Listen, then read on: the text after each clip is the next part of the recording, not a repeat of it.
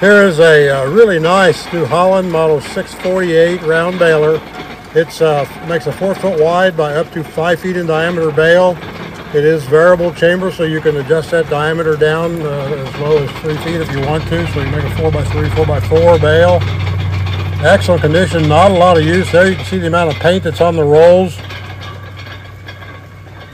Just a really nice baler. The drive gears are all really good on it. Belts are good. Belt lacing is all good. It is mechanical uh, uh, twine tie only. They call it auto wrap. It's a very dependable tie system.